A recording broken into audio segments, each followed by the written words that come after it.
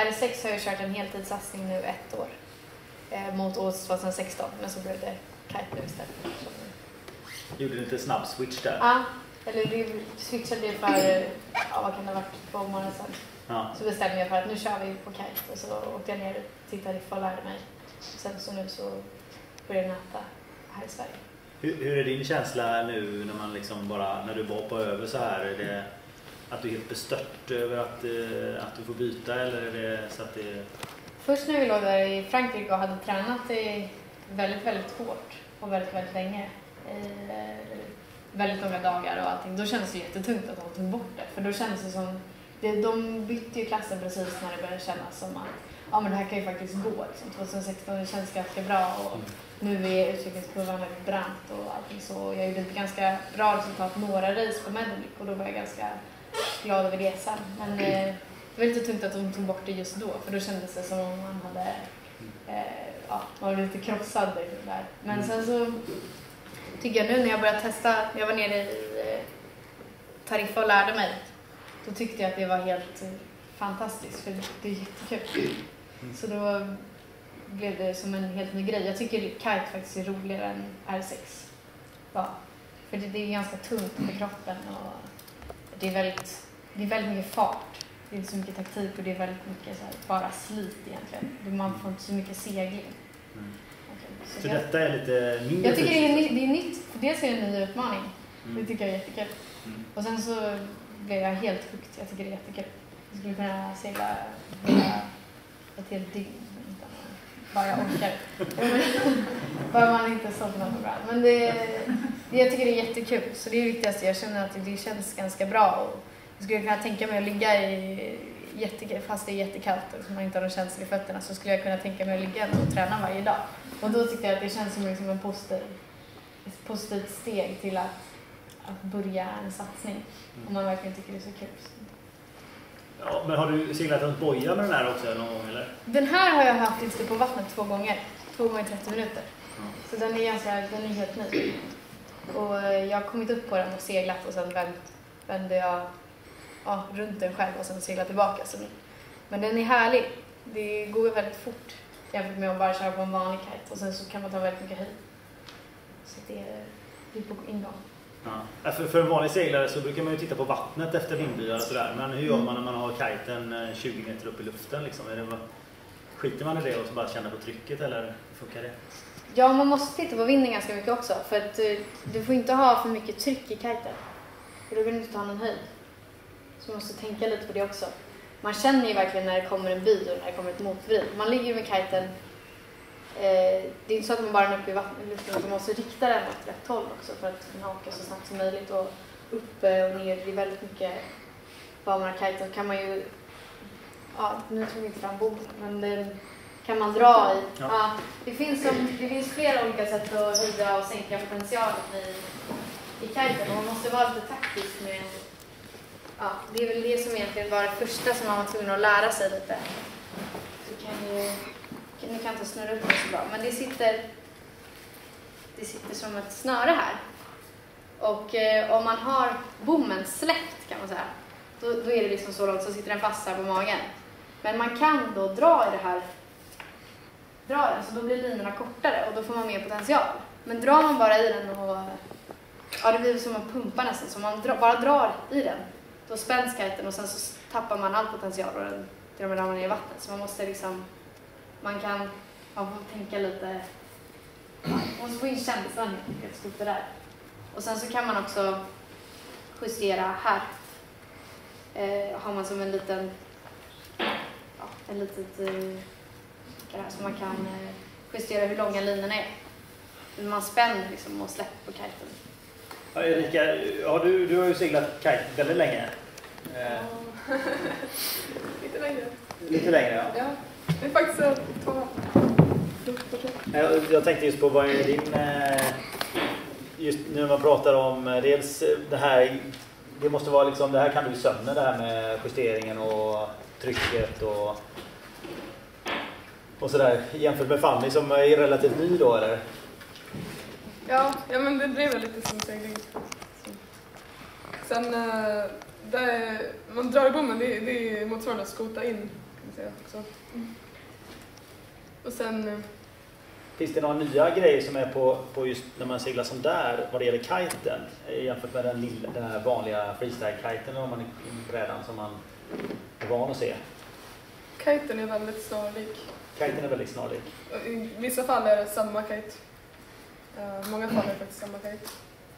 Ehm, det är framförallt brädan som är annorlunda. Mm. Hur skiljer sig brädan då? Berätta. Så är det någon som vet hur en wakeboard ser ut? Hur många var det?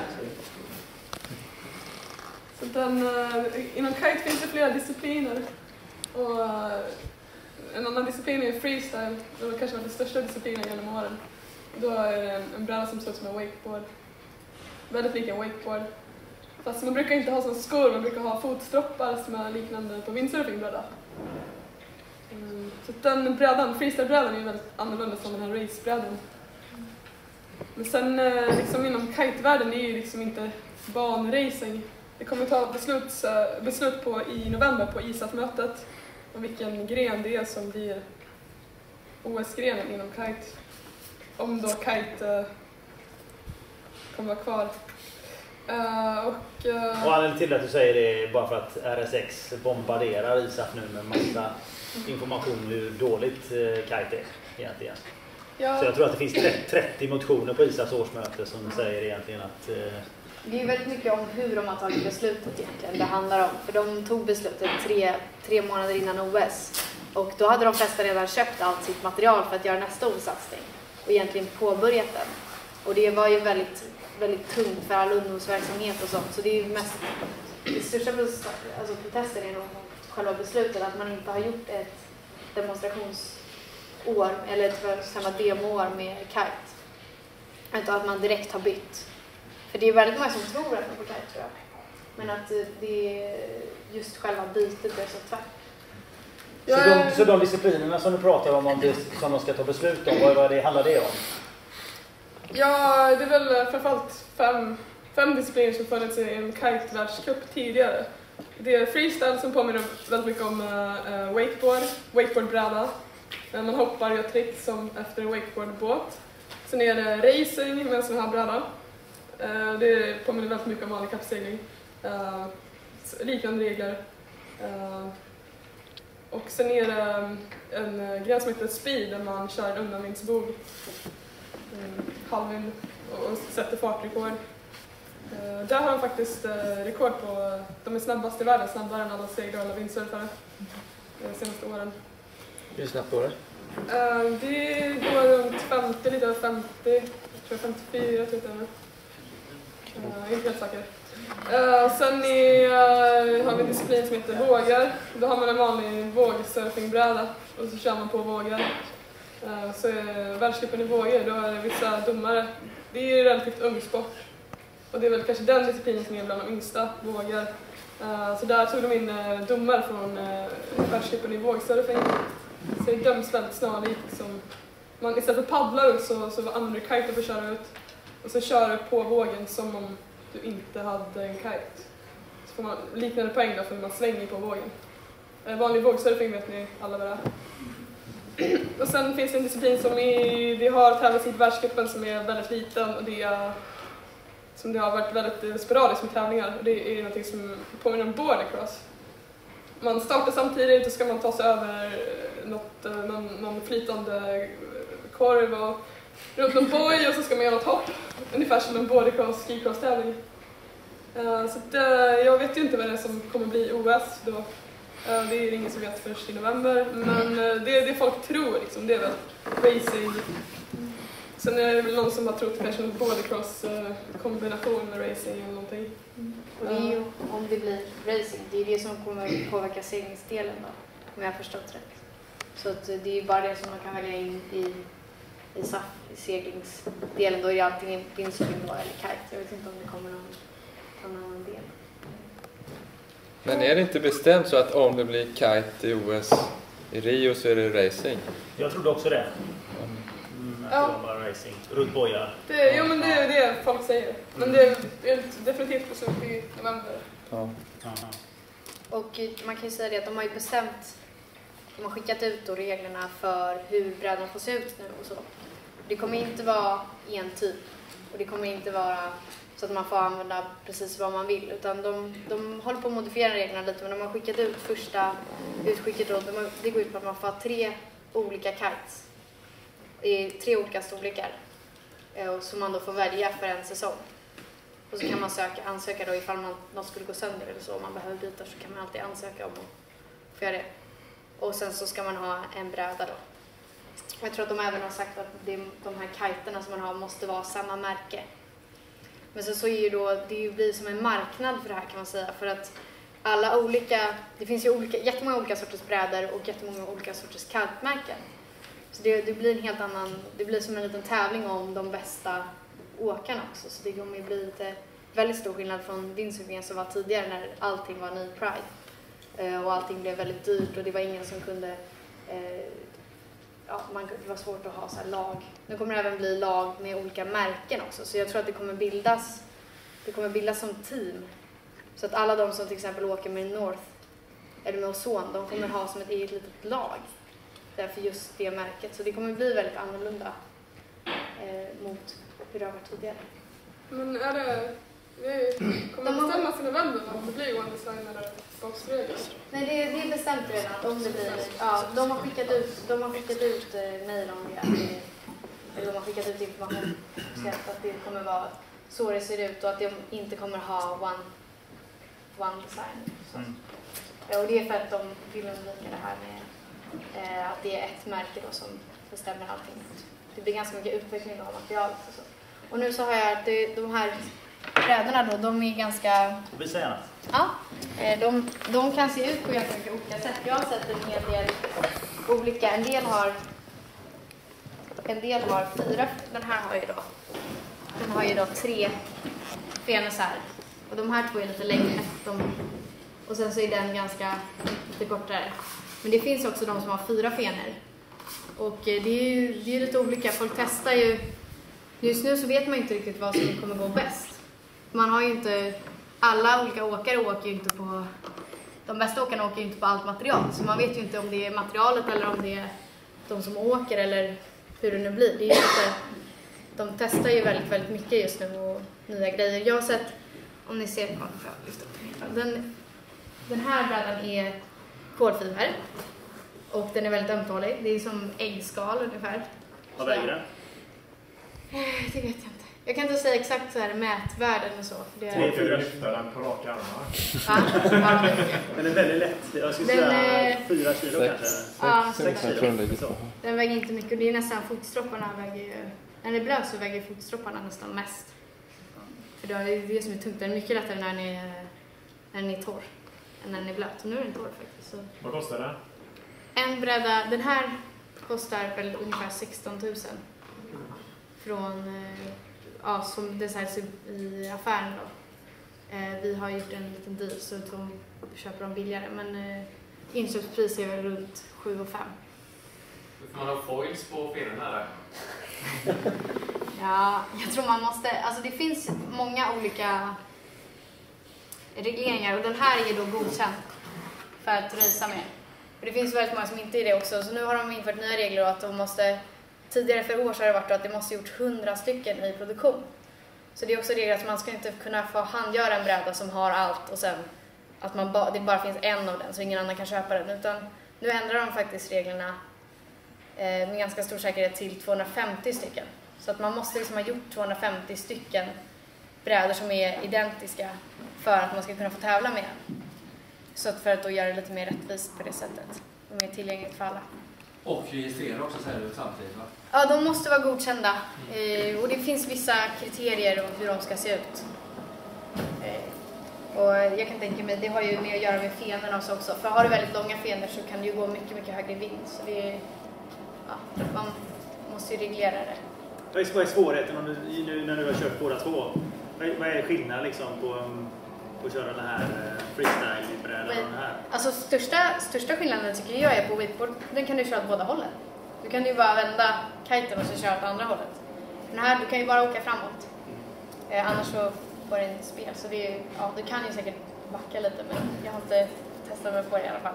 Så den, eh, du måste dels så när du kör, ska upp på wakeboarden så måste du ha ganska mycket bakåtvikt. Eller freestylebrädan. Då måste du, det är en helt annan teknik också för att komma upp och för att köra. Och jag har ju kommit upp några gånger och jag tyckte det är ganska likt R6 faktiskt när man väl kommer upp och står. Det är lite mer att från freestyle så har man ganska mycket tryck på brädan och eh, svänger snabbt och allting. Men på den här så ska du nästan hänga lite neråt kiten så att du lyfts upp och kommer iväg. Eh, det är ju, folk håller ju på får in tekniken nu, men det ska vara ganska likt då windsurfing. Vad är det svåraste runt en bana? Slå har jag hört är väldigt svårt. Du har inte gjort det ännu? Nej. Verkar det är experter där. Men att du måste- Ja, still och hålla sig flytet brädan om du sitter på den eller någonting. De har gjort en ny regel till... 2008, min första världstävling i race. Ja. Uh, väldigt liknande utrustning. Och du har slagit. Ja. Är det svårt?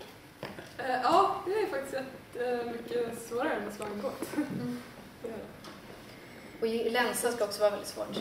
Eh, är det många som har sagt. Jag kan tänka mig att det är lite likt som här 6 för det var väldigt svårt att länsa med den också. Ja. Mm. ja men jag, jag jag är också gammal windsurfare. Ja. Jag nämner det där. Så om jag jämför med windsurfing så är väl kitesporten mycket lättare att komma i planing. Man brukar säga det när man lär sig windsurfa, det är väldigt lätt att stå på en stor bräda med en liten rigg. Men att komma till nivån i windsurfing att man använder fotstropparna och eh, selan, det tar ju ganska lång tid. Jag vet inte, är det någon av er som windsurfar på den nivån? På vilken nivå?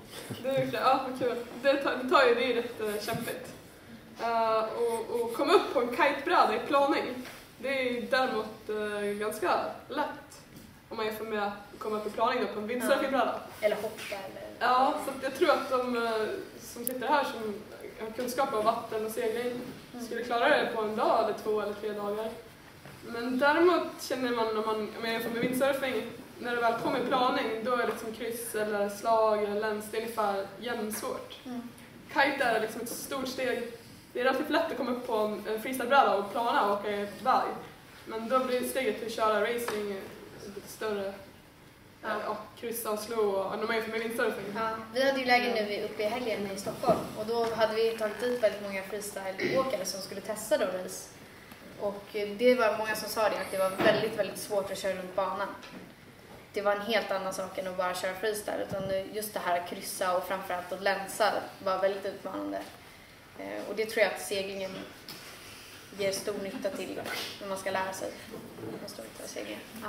Hur gör man när man länsar? Alltså skär man? Eh, ja, det måste man göra liksom. Men hur gör man med kiten? Alltså, jag har kitat lite liksom, men jag ser typ kör kite-loops hela tiden liksom.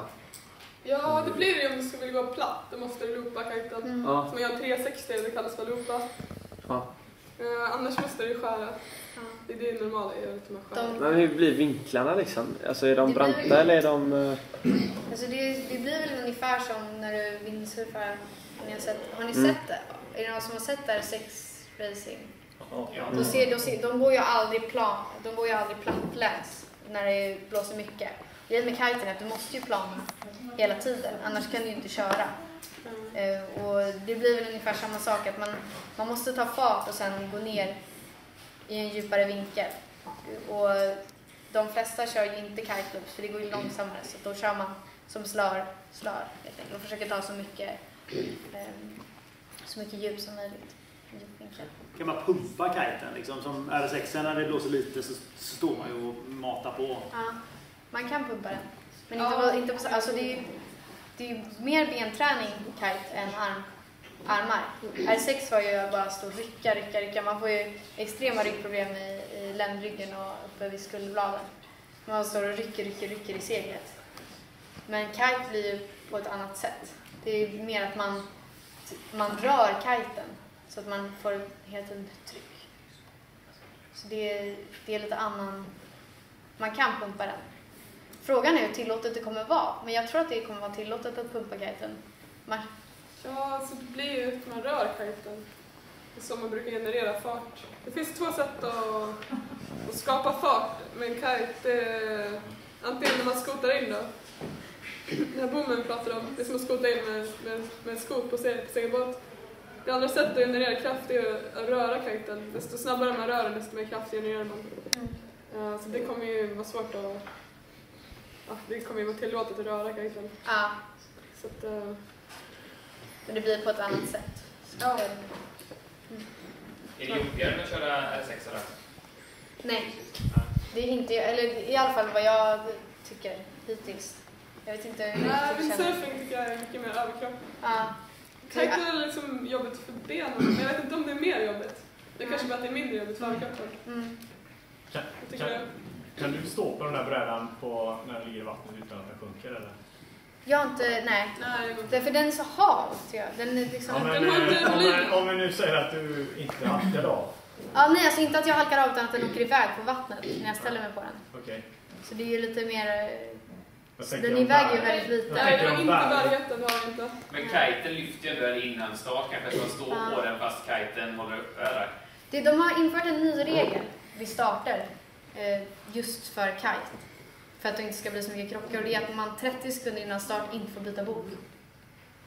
Jobbigt om man lägger för babord. Så att... Eh,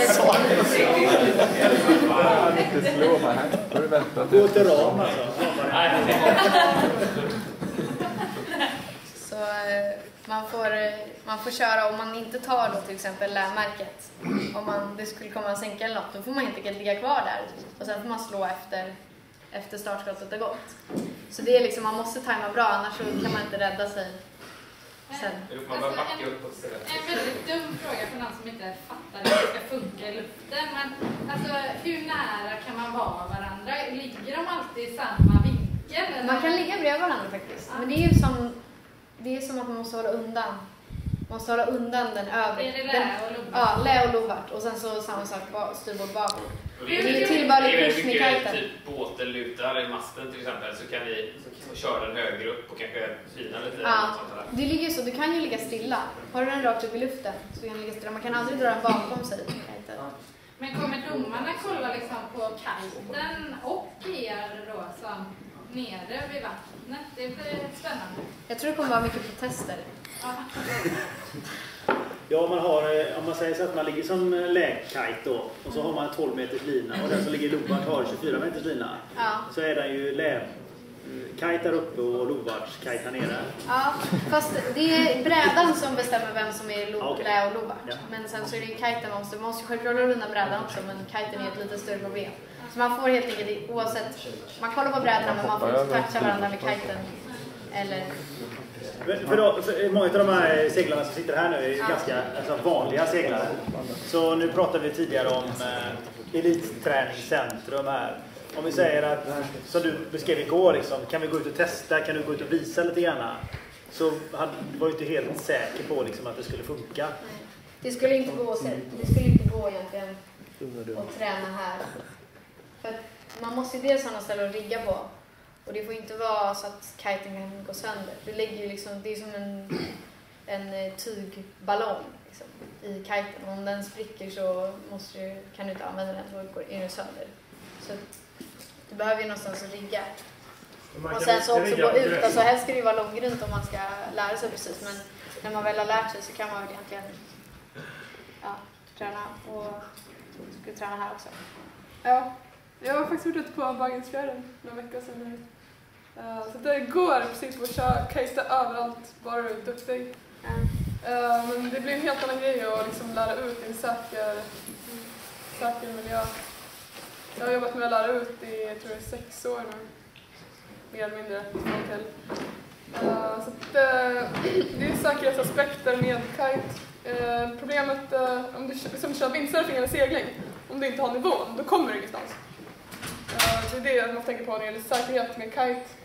Eh, när du håller på att lära dig så kan det ändå genereras kraft utan att du har kunskapen.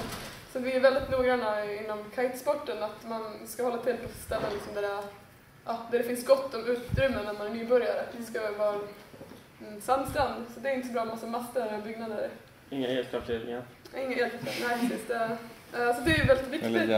Väldigt viktigt för sporten också att, eh, det är liksom, att alla tar sitt personliga ansvar och, och liksom se till att det, inte, att det sker säkert. Men när, när, du säger att det går då, sk skulle du kunna ha en elitgrupp och träna här med de andra seglarna och köra en säsong utan att någon uh, gör illa sig eller pajar kiten tror du? Här, precis här. Absolut, om det är, om det är, om det är världscupnivå eller liksom tävlingsnivå. Alltså, man skulle väl behöva någon yta för att Alltså det skulle behövas en öppen yta i alla fall till att ta ner och upp kiten. Alltså jag ser ganska stor risk att det skulle kunna vara saker fel. Alltså det skulle kunna hända olyckor just med att lyfta och allting om man inte gör det ute på vattnet. Ja. Och, alltså, Men när du var på KSS så gjorde du det. Ja. Där vet vi hur det ser ut. Ja. Riggar du på handplanen kiten eller vad gör man? Alltså... Eh, jag har faktiskt kört det två gånger. Sist så var vi ute i en, eh, en ribbåt. Ja. Och det är ju väldigt praktiskt att ha tillgång till en båt. Eh, då kan man ju sticka ut med båten och starta och landa i båten. Så det ökar ju betydligt möjligheterna. Uh, men uh, en annan gång när jag kört där så, den här F18-bryggan som går ut, bryggan som är liksom, eller stenpiren. Mm. Då höll jag upp linorna där och satte, satte på hejten så den låg liksom längst ut på piren. Och sen hade jag någon som startade den på bryggan så gick jag. Men det är absolut ingenting man ska hålla på med om man liksom inte har en tränare, någon på det stället som har, som har koll på, det är jätteviktigt att man liksom och sen det som vi pratade om innan, för att avsluta det, um, så är frågan liksom då om man, om man kunde köra här om man är på elitnivå. Uh, det kan man absolut, men sen är det frågan att det, ja, det kanske inte är värt den tiden det tar och att man ska hålla på och lägga upp några linor. Det kanske inte är ultimat. Så det, ja, frågan liksom, det går men det kanske inte är ultimat att ha som, mm. som en fast träning. Men det är inte så säkert heller. Alltså man, när man tänker på saker som skulle kunna hända, något går sönder eller så, så är det ju väldigt Alltså man kan ju inte riktigt åka in här heller själv. Nej, Om det skulle hända något ute på vattnet, man märker att den, det kan ju hända att man får en läcka så kiten börjar sacka. Då in, kan man inte ta sig in här. Nej, det bygger på att man har väldigt hög nivå båt ah. och att man då liksom kanske hittar något hörn där det, där det passar ifall att man håller till och ställer. Jag tror det går att köra överallt bara man har tanke på alla säkerhetsaspekter. Absolut. Absolut. Sen, sen är det en annan sak om vad man liksom bör göra och rekommenderar och där. Vad, när du kör kite race då, vad är, vad är det som avgör? Är det den som är snabbast eller den tekniskt eller strategiskt som det ser ut just nu? Uh, jag skulle säga att det är väldigt snarlikt uh, de mer fysiska seglingsgrenarna och mm. Det är väl ungefär där ligger, lika mycket taktik. Om man jämför med kölbåt och mer liksom, stadigare jollar så är det väl mer fysiskt. Som windsurfing och Fortnite och så det är ungefär där. Det är fysiskt men absolut samma taktik. Och, mm. och, och det, ja, det är inte stora fartskillnader så som att någon, någon bara mm. drar och går fortast. Vinkelskillnader är mycket. Det är ju som, Ja, det kan ju hända i alla discipliner. Mm. Det, är liksom, det är ingenting som är specifikt som utmärker sig, vill jag påstå. Det vill inte. Sen är det liksom relativt ung sport och det är klart att det, ja, det kommer väl stabiliseras de närmaste fyra åren i och med att det blir OS. Mm så kan man lättare gå in och peka liksom. Säkert om du frågar mig om ett eller två år ska jag säga att om just den här saken är annorlunda jämfört med laserklassen eller så. Men det kommer bli lättare att se det framöver, närmaste åren. Eh, eh, ni är ju ascoola, det hade varit skitkul om detta liksom gick vägen. Hur bra är, hur bra är ni? Hur bra är Sverige? Vilka länder liksom, är det jättesvårt att säga i och med att det är en helt ny plats eller vet man någonting sådär? Det är svår, jättesvårt att säga hur det är, men man kan ju säga att VM förra året så var det två stycken tjejer som kom i mål alla race. Ja. Eh, och då så körde de inte alls en speciellt komplicerad bana. Så det, det har ju varit det är ju, nivån på tjejerna är ganska låg, men man vet ju aldrig om det finns riktigt duktiga tjejer som bara inte har åkt på tävlingar eller som... Det finns ju väldigt många duktiga freestyleåkare som är och så. Killarna har jag hört är ganska hög nivå på faktiskt. Men vi har ju med Adam som tyvärr inte kunde komma och han håller på att träna fullt och det, går, det ser väldigt bra ut. Och det, så jag tror att om man lägger in och verkligen satsar nu så börjar ju nästan alla från noll. Så det finns ju en väldigt, väldigt stor chans att det går bra. Så det är bara att sätta igång direkt. Ja, ja men det är väl precis. Det är en, ja. det är en sport det händer mycket. Jag tror att uh, vi kommer att se väldigt stor skillnad närmaste åren. Det är jättesvårt att säga nuläget. Men eh, det var en tävling nu här i Italien, VM för några veckor sedan. Var ett VM. Då tror jag att det var runt 150 deltagande. Varav kanske 30... Jag tror det var nästan 200 killar som var med. Ja, jag är osäker på hur många det var. Men det var nog en 30-40 tjejer. Så det, bara liksom det beskedet att det har blivit OS har ju liksom gått från att, att det har ju dubblats med flera hundra procent, deltagarantalet. Mycket nya länder. Ja, framförallt så är det nästan, jag tror nästan hälften av de som har kört RS6 byter nu. Kan om inte mer. Det kommer säkert vara fler som byter sen. Men de som inte lägger av, de flesta byter till kite. Så det, det är ganska likt brädan.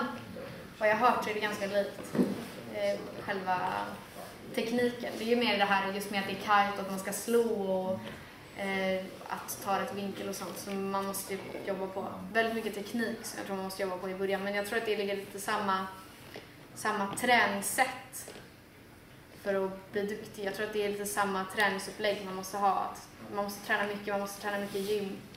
Man måste träna väldigt mycket både fysik och segling. Och mycket speed. Jag tror att eh, alltså, nivån på de allra bästa är faktiskt väldigt hög. Men i och med att det liksom inte har varit, i och med att det är en så pass ung sport, den har ju kanske funnits i ja, 12 år bara eller något. Om jag får med segling så är det ingenting. Alltså det är bredden där som inte har varit så stor tidigare. Men eh, om man kikar på race-sidan så finns det absolut otroligt duktiga tjejer och otroligt duktiga killar som har hållit på och tävlat. Jag vet en av de bästa tjejerna från England, hon har kört världscup i är kanske sju år eller något. Och jag kan ju mötas med de bästa killarna. Det var Hank. Uh, en tjej som heter Steff, ja. som är väldigt duktig. Men Heineken, ja, hon, är, hon är man ju nu, hon är jätteduktig från USA. Uh, så det är väl liksom på bredden det kanske inte har funnits så jättemånga att det inte funnits så stor bredd. Men det kan man ju förstå i och med att sporten är ung och i och med att det inte varit OS-status har det inte funnits så mycket landslag och liksom program i länderna. Och det kommer ändras uh, mycket nu närm närmsta åren. Så att, uh, man, får nog, man får nog kämpa hårt om man ska ha chans där mot de, mot de bästa. Vilka kommer vinna som OS 2016? Är det surfarna som byter till kite eller är det kajtarna som börjar köra racing? Tror? Jag, tror, jag tror definitivt att de som har raceat tidigare och som byter till kite kommer ha stor chans. Eller de som självklart har kört race-kite innan. Det, det, är en, det är väldigt nytt för många att börja racea och starterna är ju jätteviktiga. Och allt sånt där tror jag man har stor fördel med. Men också har kört, de som har kört racekite innan har ju men det, det, säger du som är surfare som byter till kite. Vad säger Erika som är kitare och börjar racea då? Ja, det, blir liksom, det kommer ett helt annat ljus det blir en OS-klass. Så där kommer det bli otroligt mycket folk från otroligt många länder. Och, eh, det kommer säkert jättemånga som börjar köra på heltid redan nu. Om man kör på heltid i fyra år, eh, det kan hända otroligt mycket. Så att, eh, det, det kommer bli ett svårt svar. Men eh, det finns ju absolut tjejer som tävlar i, inom race. Mm. Där, där det har varit liknande utrustning i flera år. Uh, så att, uh, man har ju, ja, de då som är nya har ju liksom någonting att ta igen. Men det är fyra år. De som satsar mest. Vi hade också frågan igår om att just kombinera, testa nya grejer för att även lära sig, även om man sitter i en laser. Liksom. Skulle man, tror man skulle kunna lära sig och hur ska man i så fall Ska man köpa en vanlig kite eller ska man köpa en race-kite om man vill testa på lite grann fast inte göra en OS-satsning det blir 2020 eller vad fasen som mm. helst? Vad ska det som, alltså jag kan inte säga så jättemycket nu från eget men det som alla har sagt då, som man hör, är att man måste egentligen testa racebräda. Man kan inte köra bansegling utan med en freestylebräda för det går inte att ta så mycket höjd. Och det blir, man kan ju alltid testa starter och sånt men de freestyleåkarna i alla fall som har testat nu race, de har sagt att det är liksom, ska du testa liksom och börja köra lite race för att testa på så måste du nästan ha en racebräda. För det är en helt annan grej. Men om man är helt liksom nybörjare, jag är nybörjare, jag tycker ja. det är jättekul om jag kunde köra den ett varv. Ja. Eh, fast ska jag börja med en vanlig eh, lätt kite då så att säga, eller en, en freestylebräda och lära mig att köra kite först och sen så hoppa på en sån eller Går det bra att hoppa rätt på en, en racebräda? Jag skulle säga börja med freestylebräda av säkerhetsskäl. För att de här, de här fenorna här är riktigt, riktigt vassa. Och det är inte så kul att, att lära sig med den. Alltså, man har ju olika steg. Erika har ju säkert du har ju riktigt bra koll på de olika stegen. Man börjar ju med att köra på land eller i vattnet och bara få kontroll på kiten. Man måste göra det stegvis. Och sen göra body drags i vattnet så man kan styra utan bräda och sen får man ju ta en freestylebräda och sen kanske race. Men om man nu vill, man får ju ta det lite som det kommer vid den nivån man är och hur man känner sig. Så jag tror det viktigaste är att man hela tiden känner sig säker. Och att man inte, man inte blir rädd. Man ska kunna känna att jag kan ramla. Jag kan verkligen köra en jättevurpa nu och det kommer inte hända något. Jag kommer inte skada mig. Jag tror det är viktigt. Känns det Jag nu tror- rätt att bli, bli av med? Absolut. Ja. Börja med freestyle 20. Men Jag gillar laser och jag, jag vet ju att jag kan ju inte köra ett segelpass utan att göra ett slag liksom. Mm. Och du säger att det är riktigt svårt att göra ett slag på en sån här racingbräda. Går det att segla den utan att kunna slå eller? Ja, det går ju för du eh, kan ju alltid gå av den och vända den. Sen är ju du, det är det som man ligger på nu, jag, jag ligger på nu, så man kör och sen så får man gå av och så vänder man bara runt den och så, så kör man igång igen på andra sidan med just att göra själva slaget. Men det är ju självklart att man måste lära sig, man kan inte hålla på och köra bana utan att kunna, utan att kunna slå. Så det är, det är Men så det krävs en ganska hög nivå. liksom. Ja, hög och hög. Alltså, det, det gäller ju att, att träna ordentligt på det. Så att, jag tror skillnaden är att jag tror att de flesta kan lära sig slå bra. Eller slå, men att lära sig slå snabbt och slå bra utan att tappa någon höjd. Det är väl det som egentligen är den största utmaningen. Men jag tror absolut att börja med sån här wakeboard-aktigt som är vanligt 20-bräda. Alltså det är jätteviktigt att tänka på säkerheten. Eh, det, jag brukar säga att det är som att lära sig köra bil. Man, man skulle inte få för sig att försöka köra en bil helt ensam utan hjälp, utan förkunskaper. Då kan det ju bli farligt att köra en bil. Eh, men om man har en, går till en skola och har en riktig instruktör så är det absolut ingen farlig idrott att hålla på med. Men det är viktigt att tänka på det, även om man liksom har vattenvana så är jätteviktigt att ha korrekta, korrekta instruktioner på KAGs skola.